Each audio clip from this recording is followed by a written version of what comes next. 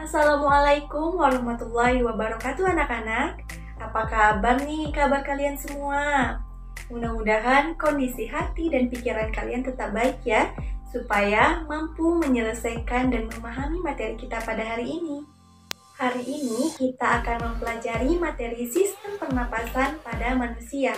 Sebelum kita memulai pelajaran kita pada hari ini, ada empat subpoin yang Ibu rangkum e, dalam mempelajari materi kita pada hari ini. Yang pertama yaitu pengertian sistem pernapasan, yang kedua fungsi dari sistem pernapasan, yang ketiga cara merawat dan juga keterkaitan virus corona dengan sistem pernapasan. Tujuan pembelajaran kita pada hari ini yang pertama, peserta didik mampu memahami materi sistem pernapasan pada manusia. Yang kedua, peserta didik mampu interaktif dalam proses pembelajaran. Yang ketiga, peserta didik mampu menyelesaikan tugas bagian-bagian jaringan organ pada kepada peserta didik untuk tetap tenang dan fokus ya. Nah, kita akan memulai pelajaran kita pada hari ini. Baik, kita langsung masuk saja ya kepada materi. Nah, apakah ada yang tahu apa itu sistem pernapasan? Apakah ada yang tahu? Nah, sistem pernapasan ini adalah sekumpulan jaringan organ yang membantu tubuh untuk bernafas.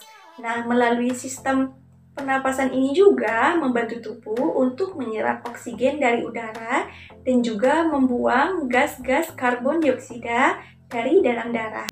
Dengan dukungan oksigen, seluruh organ pada sistem pernapasan akan berfungsi dengan baik.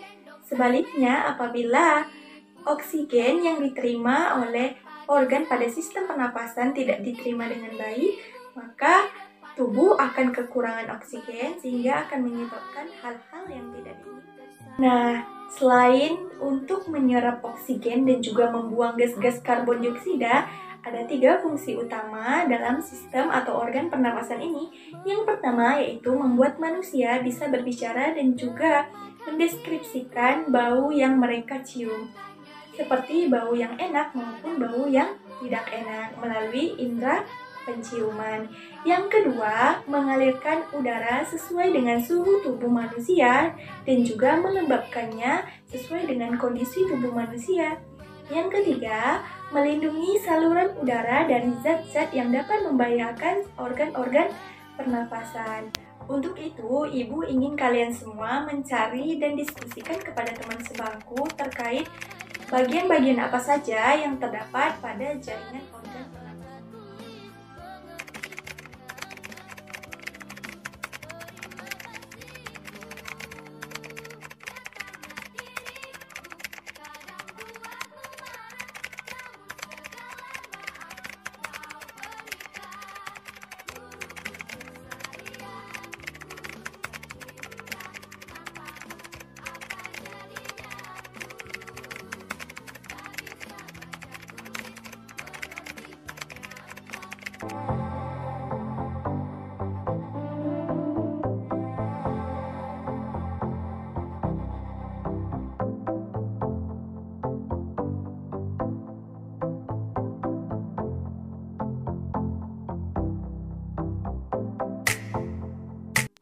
Nah, sampai di sini apakah ada yang ingin bertanya? Ya, jika tidak, Ibu akan lanjutkan ke materi selanjutnya ya.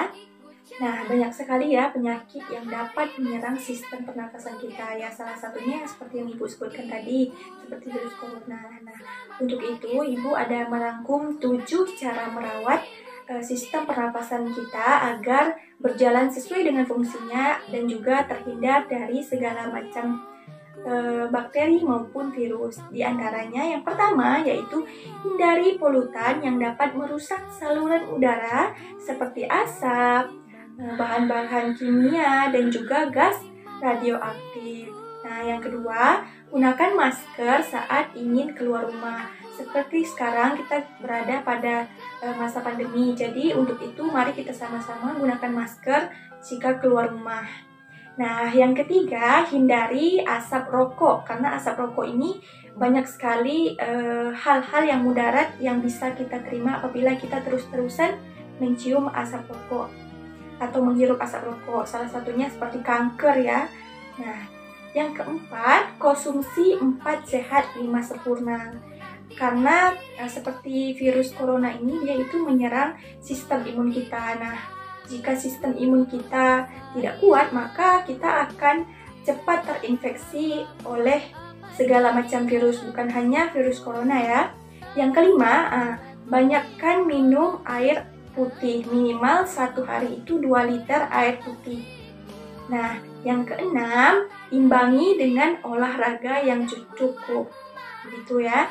Yang terakhir yaitu cuci tangan. Nah, apabila kalian ingin makan, ingin e, melakukan aktivitas lainnya, haruslah mencuci tangan terlebih dahulu agar segala macam kuman maupun bakteri yang berada pada telapak tangan kita ini gugur seiring dengan kita mencuci.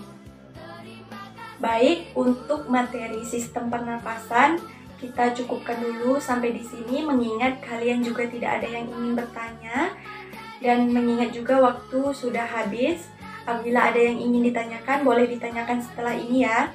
Nah, untuk tugas Ibu harap kalian uh, diskusikan dan cari terkait eh, bagian-bagian yang berada pada organ pernapasan karena ini sangat berguna untuk kalian juga gitu. Baiklah Ibu harap kalian tetap semangat dalam belajar karena apa yang kalian pelajari hari ini akan berguna di kemudian hari. Nah, jika kalian lelah dalam belajar untuk saat ini, maka uh, suatu saat nanti kalian akan tidak sanggup menahan perihnya kebodohan di kemudian hari. Sekian, terima kasih. Wabillahi taufiq walhidayah. Wassalamualaikum